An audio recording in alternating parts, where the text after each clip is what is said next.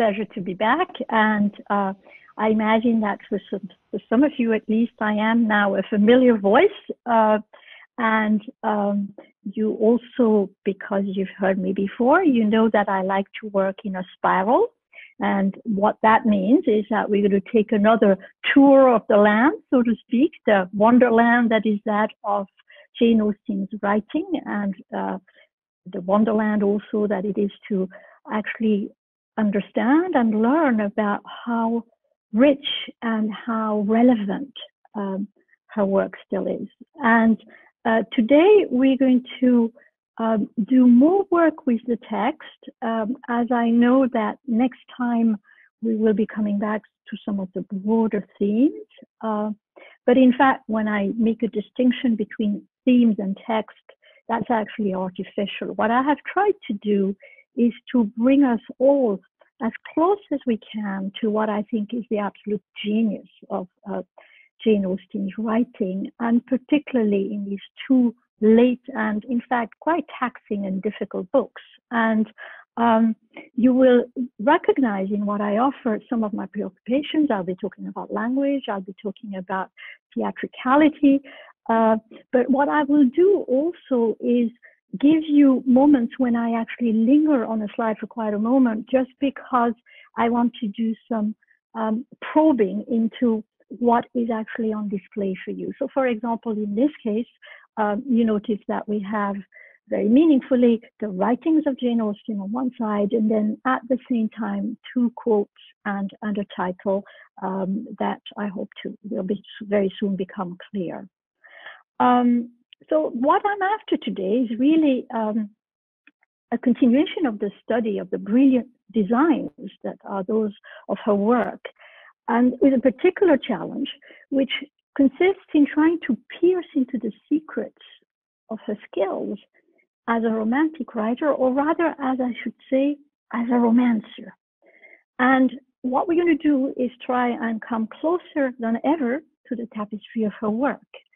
And our centerpiece, I can already announce it today, even though persuasion is at the back of my mind all the time, our centerpiece is going to be Emma, which she began in uh, the 21st of January 1814 and finished rather quickly, in fact, uh, a little over a year later. Uh, and that suggests actually sustained, intense, maybe even feverish work in what was actually, paradoxically for her, a period of respite. And as she was staying in London, uh, an opportunity to actually visit the theater and to have more of a social life. But the paradox is really that in order to do sustained and intense work, she had to be able to abstract herself from that wor- world of uh, other, you know, externalities, but at the same time that she was able to still enjoy what was happening around her. That in between externalities and internalities, so to speak, is really meaningful here. So, two late novels here, Emma and Persuasion, with a central concern, which is how does she do the romance? How do you do a romance? Um, it's all, all, the more challenging when we look at this work that, in fact, um, if you consider uh, the amount of detail in her text, you could actually say that this work, Emma particularly, is overbrimming with the nitty gritty of a, a double realism, of a realism that registers that outside world and of psychological constructions. And I will talk more than ever today about the psychology of the characters, but also the general psychology of the novel that um, Jane Austen offers us uh, with Emma. So a romantic streak in a work that is actually in search of a new kind of realism that, for example, going back to a theme that we've already treated, a new kind of realism that depends partly on introspection and free indirect discourse. But let me start with a very simple, seemingly banal example to just say to you, see what happens when you put your nose very close to the text. And I'll take that moment, actually this time um, from um, the mid, about two thirds, let's say, or a bit more even, in um, uh, Emma, when Knightley, rides through the rain, and that's on page 348. Knightley rides through the rain upon understanding that he doesn't have a rival in Frank Churchill, but just to see how this sweetest and best of all creatures, faultless in spite of all her faults, bore the discovery. I read this, the quote again. Hmm? Upon understanding what he doesn't, that he doesn't have a rival in Frank Churchill, Knightley rides through the rain to see how the sweetest and best of all creatures, faultless in spite of all her faults, bore the discovery. Well, what's at stake in a passage like that? How does riding in the rain connect to values? What to make of the kindness, gallantry, generosity of a Mr. Knightley with regards to a heroine who blithely and stubbornly disregards the signs of his affection? These are just a few words to begin a kind of conversation about the text, though we won't start the conversation here because I want to shift to a moment that is particularly interesting to me because it stages for us something that is central to the way in which Emma works, namely a moment that has to do with exchanges between a man and a woman, communications that have to do uh, with the very question that we've been looking at for a while now, which is that of how do men and women communicate in a world as loaded as it is in Jane Austen with the complications of communication. So here um, we have, in fact, a juxtaposition that matches the moment of recognition of saying, I know I am in love, which puts in a parallel situation, what did she say? Just what she ought, of course, a lady always does. And on the other hand, the words that can only be attributed to Knightley, which are then with the gladness which he must be felt, nay, which he did not scruple to feel, having never believed Frank Churchill to be at all deserving Emma, was there so much fond solicitude, so much anxiety for her, that he could stay no longer. Now, I read this as well as I could, and when I say this, I mean the thoughts that are racing through the mind of the man who is now understood that in fact, after waiting for so long, the woman who he's been trying to woo and the woman he's been trying to convince that what's happening in her head is all too complicated and all too distant from reality, that her matchmaking is, is a dream and that she spends far too much time, in fact, in her fevered mind drafting of plans for other people's weddings and marriages and love interests uh, to actually think of herself and understand what her own feelings are. And in fact, uh, the word uh, of my title, fever, is a word that I found in that on that very page when we hear the inner thoughts of Mr. Knightley. As long as Mr. Knightley remained with them, Emma's fever continued. Now, something decisive has happened here. The fever, that was the fever of uh, boredom and frustration and just an overfilled imagination, that fever has suddenly moved to another space where the fever that Emma feels is actually the fever, clearly, of a woman being in love. The word is symptomatic, you could say, of her heady excitement as a woman in love.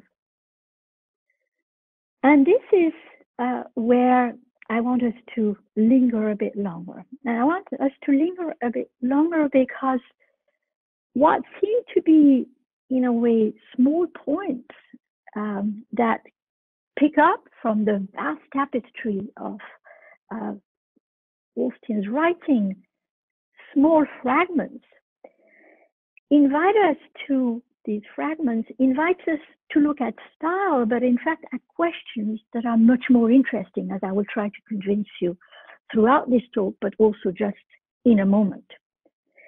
Let me just say what I mean by style. If you look again, or if you look at that quote that is on your screen as a part of my PowerPoint, you notice that there's all in those words put on Jane Austen's text, um, there is a gobbling of meaning. There is a suspension of uh, all logical articulation of thought.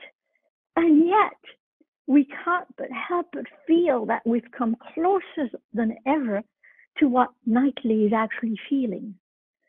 Then, with a gladness which must be felt, nay, which he did not scruple to feel, and here you hear him hesitate, can he actually begin to feel as strongly as he does that he loves this woman? Can he actually almost say what that he never believed that Frank Churchill was deserving of him. Of course, he never believed it. He knew, he knew, but he was not vain. He didn't want to prom- promise and say to himself that he was better than that man. Knightley wouldn't be who he is if he didn't take a very careful, distant view of himself as he does of his rival.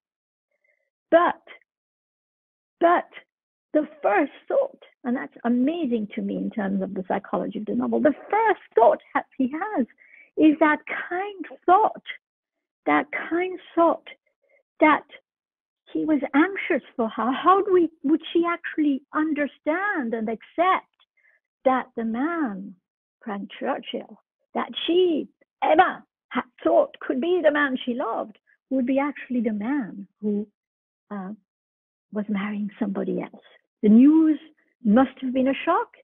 And what's amazing, as you hear me, I hope, is how much interpolating I'm actually doing, how much, how many more words I'm adding just to make sense of that nearly cryptic moment where we go as deep as we can, so to speak, into Knightley's soul. We're going to look into his soul a few more times, but this one struck me as astounding. And it struck me as astounding also as I, you know, go back to a question that Laura prompted us to examine, that question about about someone's trains of thought, about what soliloquy does in literature. Well, you can't even decide, I think, here if Mr. Knightley is in a soliloquy or if he is, in fact, talking to us readers, unbearing his soul as if he was on the on stage.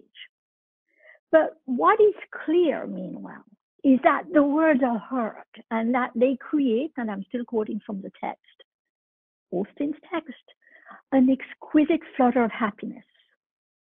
And I come back to this because that exquisite flutter of happiness that goes with having a conversation between a grown-up man, she's finally grown up, our, our naive heroine, and a grown-up a grown-up woman and a grown-up man that that conversation is really what I was trying to talk to you about very early on in the course already when I talked about Habermas's idea that there came a moment when it became possible to enter into freer conversations, freer conversations that were founded on a form of civility and on a form of communicative action that's a learned word to just say talking, that that community uh, um, action of talking and that the conversation founded on civility is what actually enables not only a major revolution in the political and the social sphere, but in fact, what enables maybe a revolution in the very way in which we start thinking about how men and women live together in the world and how we think about the intercourse between the sexes at a time when we are indeed able to imagine free speech, that's what Habermas says, but also at a time when there are highly complex rules and prohibitions on that art of communication that is the free flowing exchange between a man and a woman.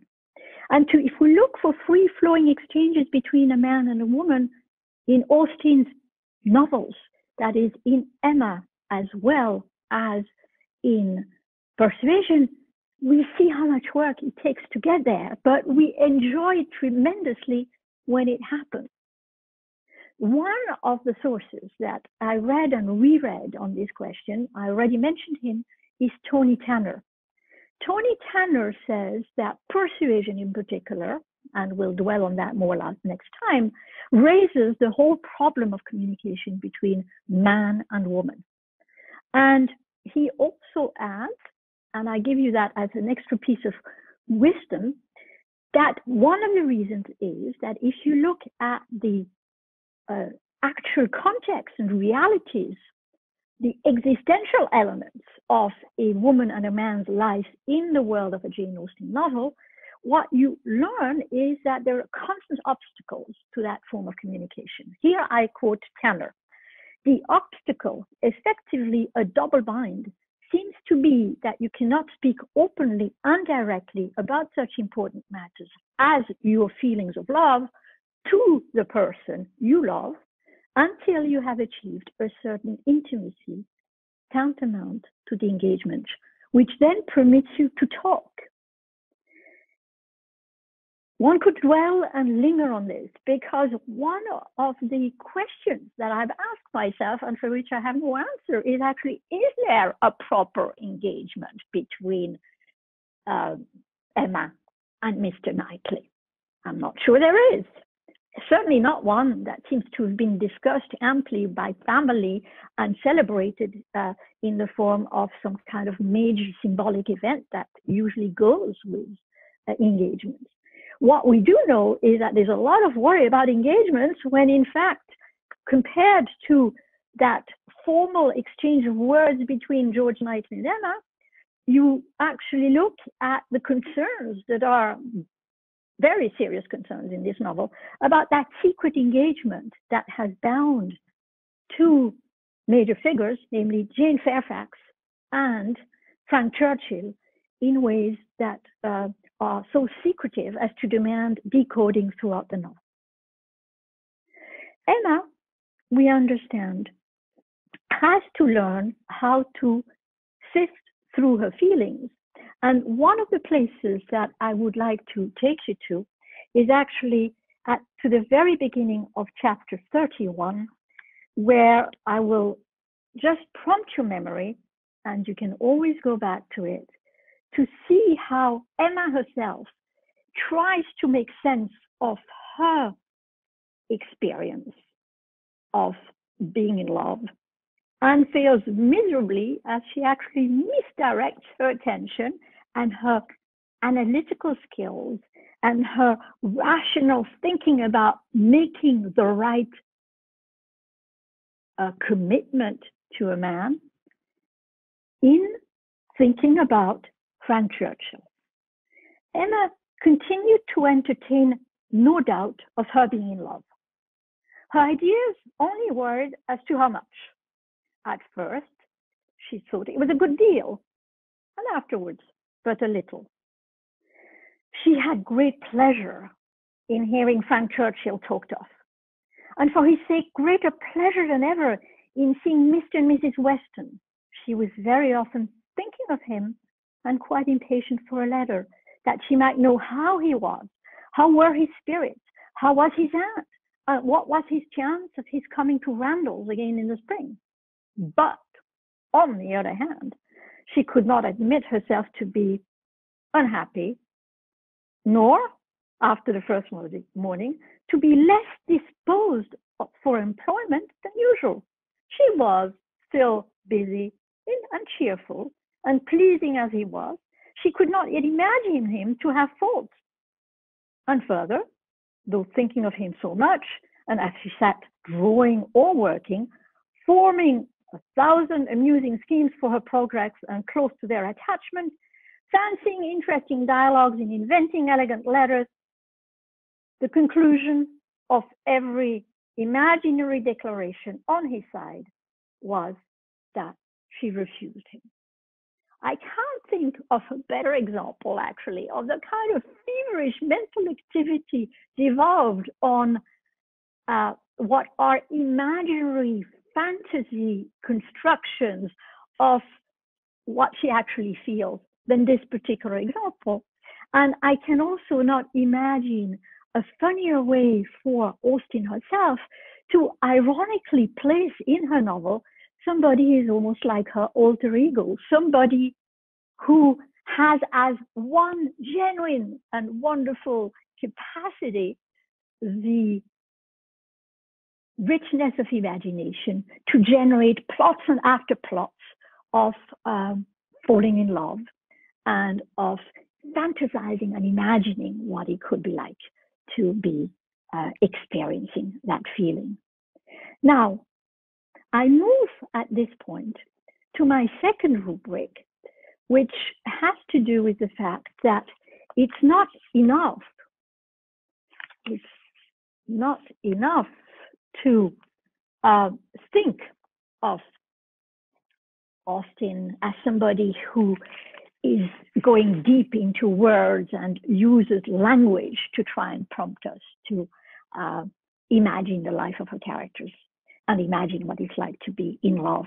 The theater is important as well. And here, uh, my source is the brilliant work of somebody called Peter Brooks, who wrote a book called The Melodramatic Imagination, which uh, was a groundbreaking study into the role played in the theater in the 19th century imagination.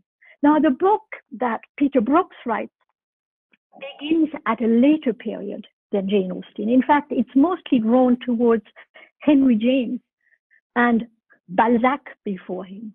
But what it says basically is that one cannot experience the 19th century novel without understanding that a lot of its uh, excitement as well as a lot of its intelligence depends on moments that stage in crucial scenes emotions and choices as well as drama that is directly connected to what was seen on stage.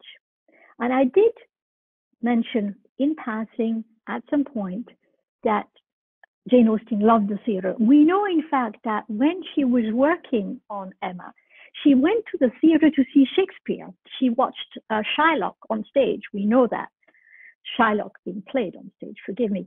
She was obviously refining what you could almost call a kind of scenic method where she imagines that the best way of getting a reader into the inner world of a character is to use language in a very astute way to create scenes that are centrally meaningful and revelatory in a way of what is at the core of the books that she's writing.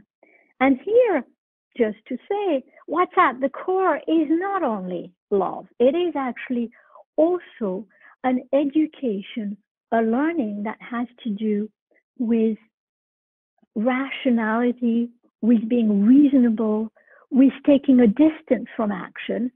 It's a form of learning, of course, that is totally familiar to us. You wouldn't be in this course if you didn't read books. And it's when we read books that we actually take a distance from things, that we actually parse and analyze and get into fictional experiences when we read novels, fictional experiences indeed, but we lose ourselves in those experiences.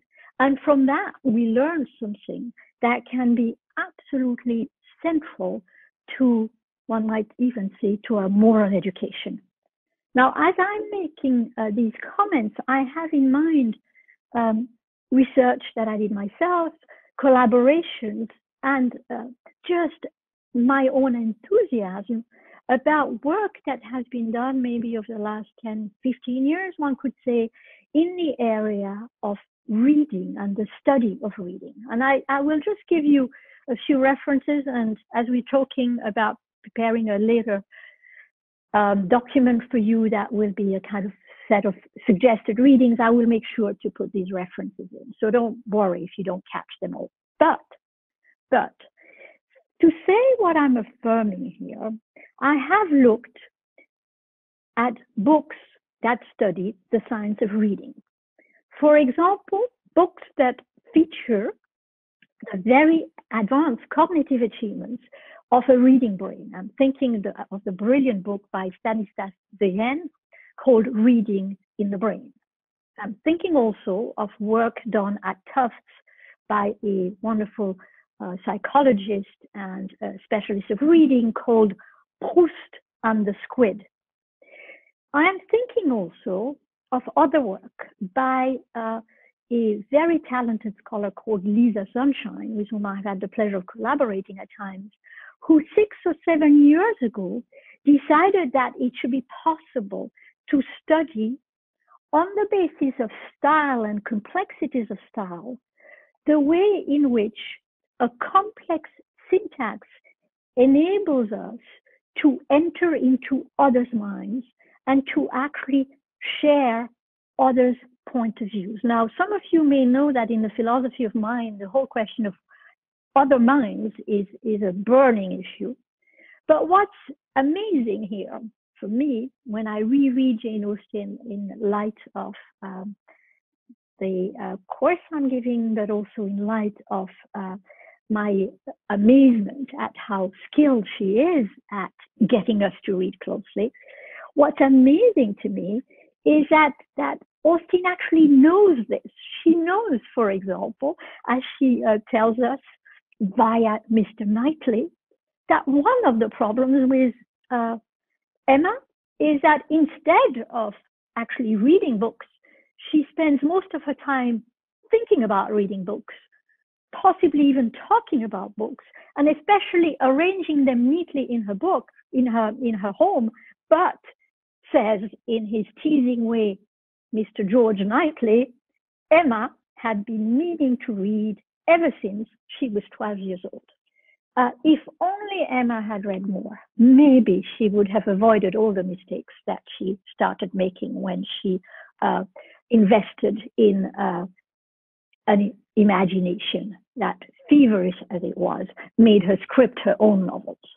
And um, as I say this, of course, I, I am above all uh, taking you back to that place where we have, with Jane Austen, a writer who was capable herself of recognizing that if you want to talk in a grown up fashion, in a rational fashion about the ways of loving, then you have to make sure that you get your readers deep into the nuances of thought that only the art of good writing can produce. What you do when you do that, on the other hand, is that you, next slide, what you um, do is that you draw on a culture that precedes you. Among the most um, interesting readings I had the chance of uh, doing when I was working on the question of women and writing it is a book by an Italian scholar called Benedetta Craveri that I read with fascination as I was trying to understand a genealogy, so to speak, of the psychological novel. And that what I found in that book and that what is represented emblematically for you in this slide is a culture of women talking to women in a, what looked like a kind of socializing mission that could happen in a culture of the drawing room, as they were called in the salon of the 17th of the 18th century. I saw a culture of women who were visiting each other, creating cycles and circles of conversation that were decisive, I believe, in creating the conditions for new forms of gallantry, of politeness, of refined intercourse. that we owe to them because we would have no trace of their conversations, but because some of them chose to be writers. So imagine this fascinating moment in culture when learned women, intelligent women with greater freedom uh, than the average woman at the court, usually widows or often also women of the lower rungs of the aristocracy, that these women spent their pastimes, their leisure, but also their um, freedom, so to speak, in ways of exploring what it would be like to map a new kind of relations between the sexes. And they did that in their conversations that happened in the vernacular without references to any of the classical sources or with just a nod to them, keen as they were in finding a vocabulary that would actually enable you to chart the road of feelings, the road towards feelings. And here I move to the next slide, which is one that we will definitely come back to next time, but I want to tease you with it. In a way, teasing is the right word because uh, I'm showing you on this screen a, an image of on silk, an image of a map that had a tremendous circulation in the 17th century when it was devised by a writer. And if you want to know more about the writer, all you need to do is click the link that I'm giving you here. Mademoiselle de Scudéry is her name. Here is a map that had as a central goal the aim of guiding woman through the complex path that might lead her to fall in love with the right man. It seems that this is actually the right place to make a transition to another moment that is related to last time's discussions. And this time I'm uh, thinking of um, the questions that uh, Patricia was raising, the questions that have to do with uh, degrees of separation. A woman who would like to marry faces an amazing number of degrees of separation when it comes to coming close to her, the object of her desire. Now, this is a question that we will look at more closely in a moment, but for the time being, let's look at it with a kind of distant historical view that uh, I think befits the, the weight of that question. Why is it so hard for women to come into a purview or circle where they can actually connect with others in ways that are meaningful for them?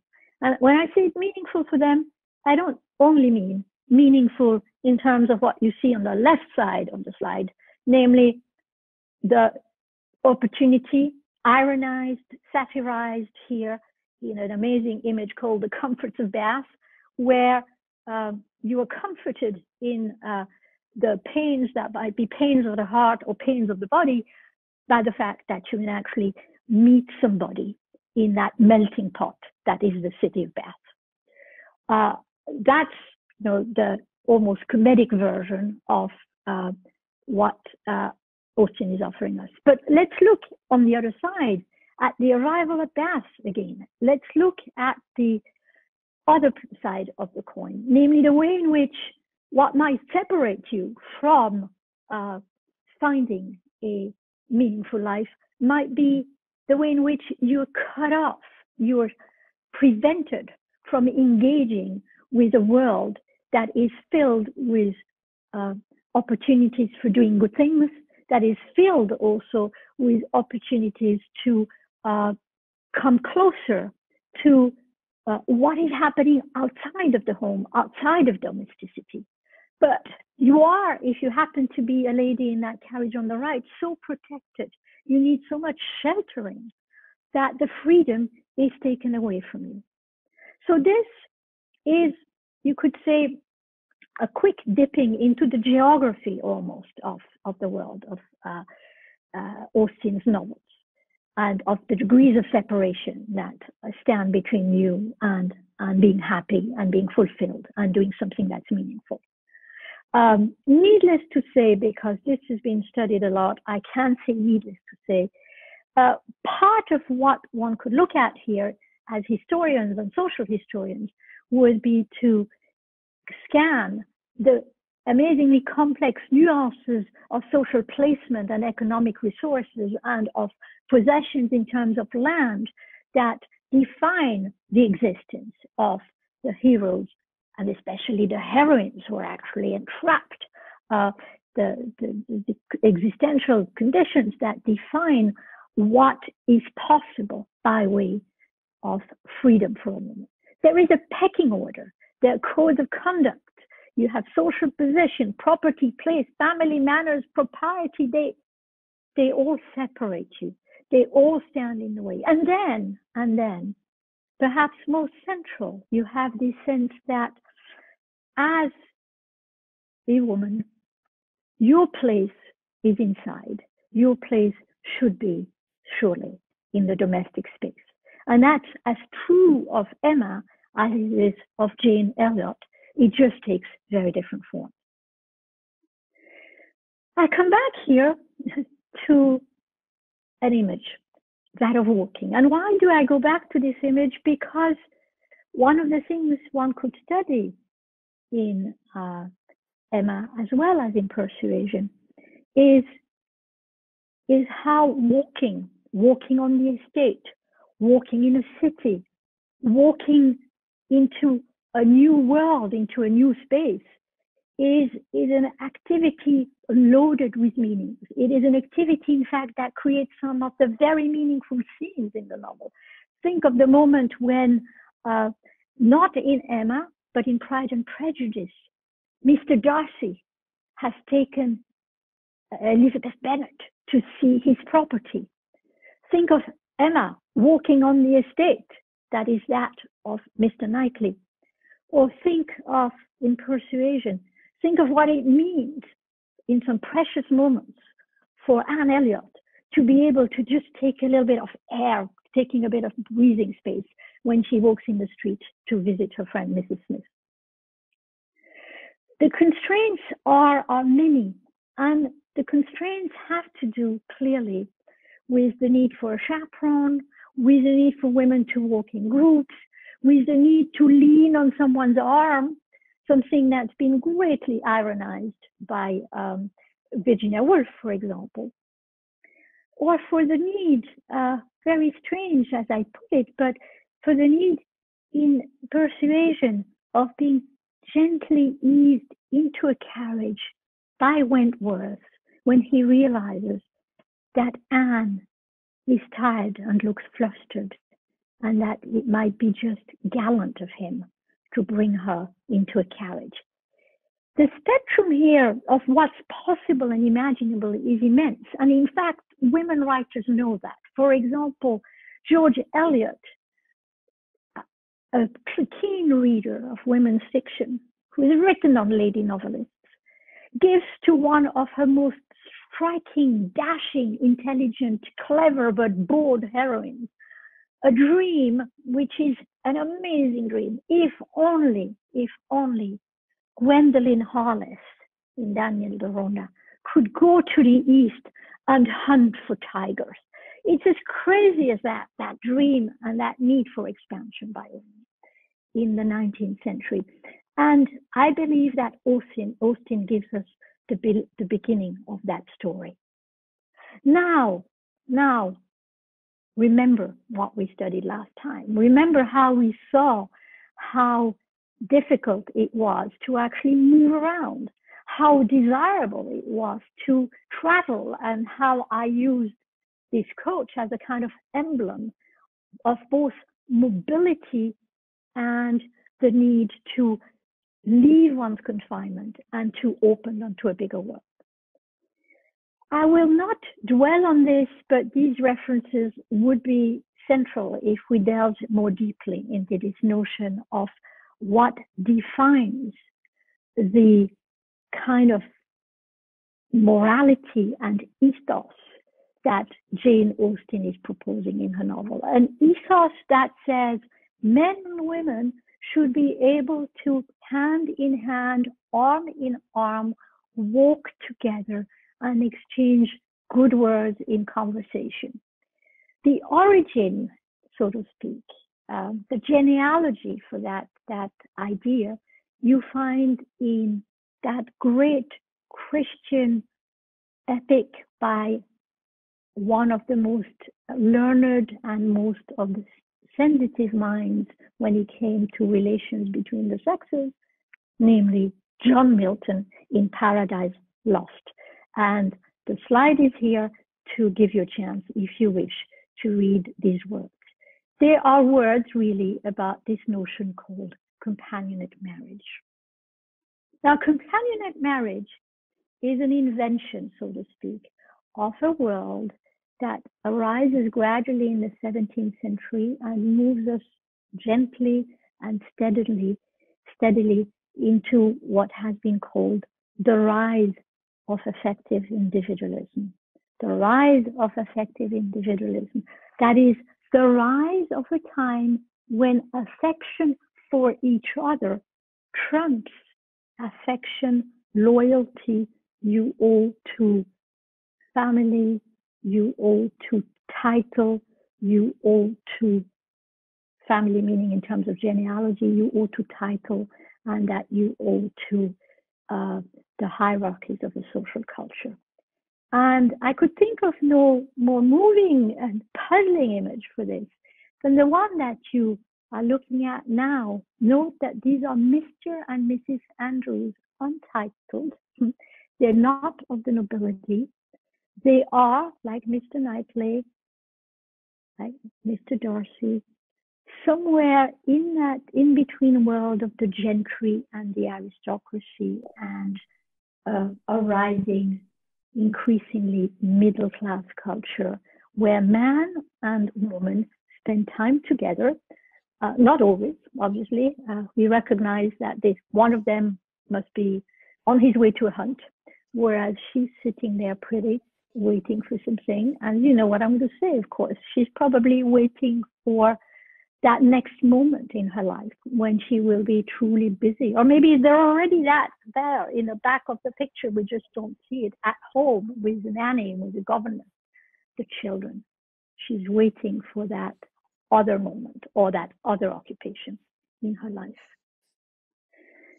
Now, this would be, you know, a slide that we could talk about in very meaningful ways, I think, in terms of, of a history of um, what actually begins to uh, be built in Jane Austen's fictional world, namely an extremely acute awareness of the necessity of good marriages and good relations between the sexes, but also of gender differentials and all of all the obstacles, degrees of separation that make it hard to actually find the right partner. But I uh, prefer for this occasion to actually bring you to a place that is, to me, a brilliant instance of how Jane Austen is capable of teasing us with uh, the idea that the most important um, aspect of uh, her writing is one that wants us to come close, as close as possible, to the world that is that of the characters that she she's placed in her fiction. And for the fun of it here, I will read you a brief moment excerpted from what is the visit to uh, Donwell Abbey that is undertaken to actually uh, entertain and uh, take away from their boredom the whole crowd of inhabitants of Highbury. And here I read for you. The whole party were assembled, excepting Frank Churchill, who was expected every moment from Richmond, and Mrs. Elton, in all her the paradise of happiness, her large bonnet and her basket, was very ready to lead the way in gathering, accepting, or talking. Strawberries, and only strawberries, could now be thought of and spoken of. The best fruit in England, everybody's favorite, always wholesome. These, hmm. the finest best and the finest sort, delightful to gather for oneself. The only way of really enjoying them. Morning is ideally the best time. Never tried every sort good. Oat boy, infinitely superior, no comparison. The others hardly eatable. Hautboy is very scarce. Chili preferred. Whitewood, finest flavor of all. Price of strawberries in London, abundance about Bristol, Maple Grove, cultivation beds when to be renewed, gardeners thinking exactly differently, no general rule, gardeners never to be put out of their way, delicious fruit only too rich to be eaten too much, inferior to cherries, currants more refreshing, only objection to gathering strawberries, the stooping, glaring sun, tired to death, could bear it no longer, must go and sit in the shade. I find it very hard to read comedy. I'm not an actress. I wish we could have had an actress read this for you. But I hope you're beginning to see here with what amazing modernity Jane Austen decides to write what looks almost like to me like a surreal scene of discussion in the gossip, um, chatter, excessive talking, talking to herself, talking to others, talking to the gallery way of Mrs. Elton. Mrs. Elton, it turns out, hmm, is for me the very exemplary of a figure who, of course, um, is at the center of the comedy and the different ironies of this novel, but also maybe at the center of what turns out to be an amazing discovery, namely that before Freud himself, Austen had already invented what you could call the psychology, or rather, maybe more deeply, the theory of dreams. In his work, as he starts to reflect on how people dream, as he works on his major work called The Interpretation of Dream, Freud understands two things. He understands that dreams are always part of a wish fulfillment, but he also understands that dreams are something that uh, we repress more and more, that we keep away from our consciousness unless we happen to be as openly candid, naive, and transparent as a Mrs. Elton. When Freud observed his granddaughter, who was just about learning to talk, and he spied on her as he was in as she was in her cot, fond grandfather as he was, and he heard her say, strawberry, strawberry, strawberry, strawberries.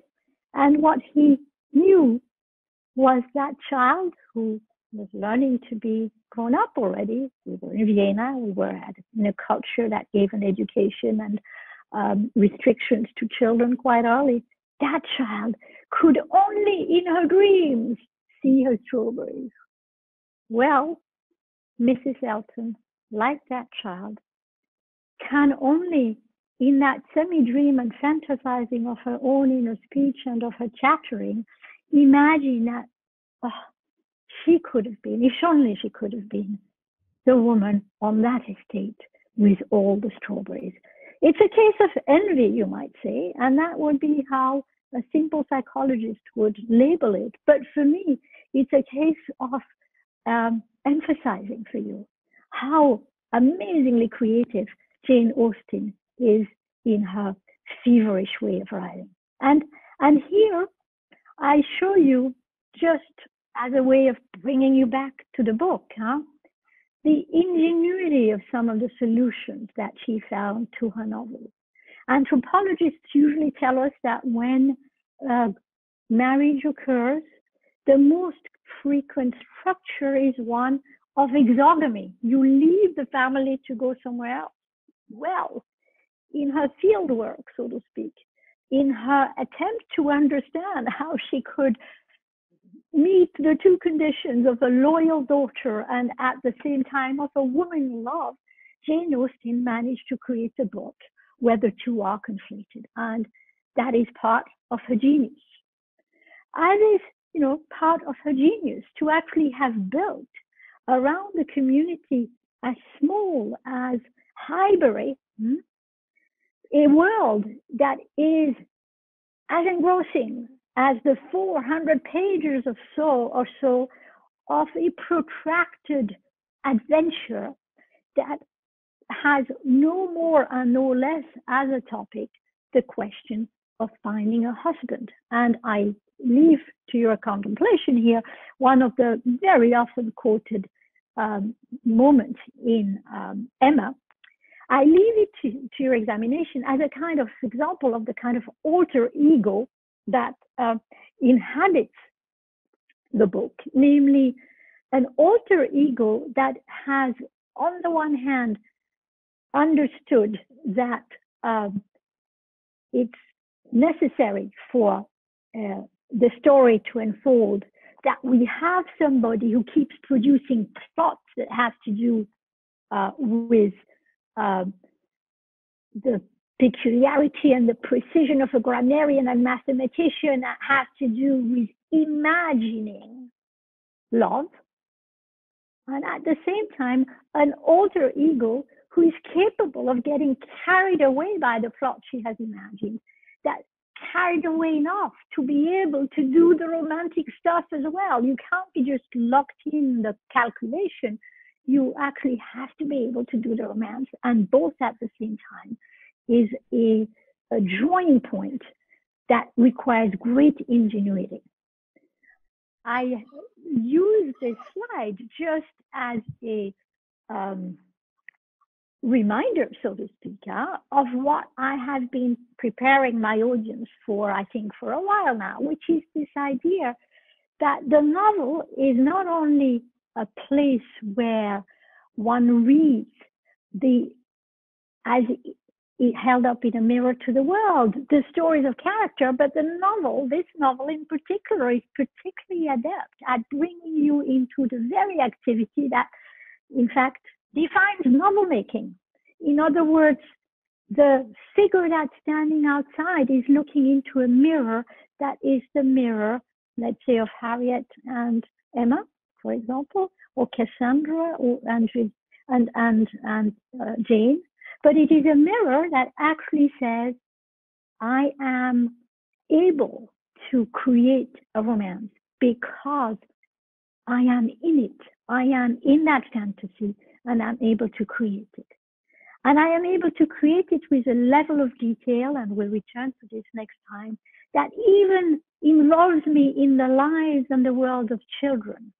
I'm able to de- describe it with a level of registration that actually understands that affairs of the heart are also affairs that have to do not only with a metaphor, but actually with the literal question of what does one do with one's heart? Not only who do you give it to, but how do you do you show care for the others? How do you show that you worry about somebody's sore throat? How do you show that you worry about, well, we have here in the figure of Mr. Woodhouse, the valetudinarian, you have a figure of uh, the person who is ill. But we also have, of course, in this novel, the most striking, and perhaps moving example uh, in this, uh, forgive me, in this slide, the most striking and moving example, perhaps, of a romantic mood. And here we have just a few seconds to give you, but we're going to give you just a little bit of a musical impression.